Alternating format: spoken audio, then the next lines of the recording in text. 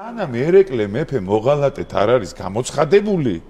მანამდე ჩვენ არაფერი გვეშველებაო. ეს ადამიანი ახალგაზრდებში არის ლექციების დამკითხავი გესმის დაცინის მოწამლეს ახალგაზრდა დაცინის მარხვას ვინც მარხულობს გესმის ის ლექციებზე არიღებს ხმას ერიდება რომ ვიღაცა მარ დაცინოს გესმის დაცი აი აი აი ამ სიტუაციაში ვცხოვრობ ეგ არის და ამიტომ გაჩნდა ეს ანტიდამოკიდებულება ლიბერალიზმის მიმართ საქართველოში ლაპარაკობ ახლა ამ წუთას.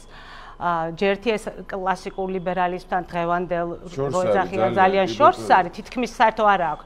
ეს არის ნეოტროცკიზმი როგორც თავის დროზე ტროცკიმ აიფარა ტროცკისტებმა და მისმა ბანდამ მარქსიზმ სოციალიზმი და იმის სახელით დღეს არის აფარებული ლიბერალიზმი. ეს არ არის ლიბერალიზმი. ლიბერალიზმი თავის თავში კლასიკური ლიბერალიზმი გულისხმობს დემოკრატიას, დემოკრატიას და უმრავლესობის მართლობას და ჩვენ ნელ-ნელა გადავიქეცით უმცირესობის დიქტატურაში.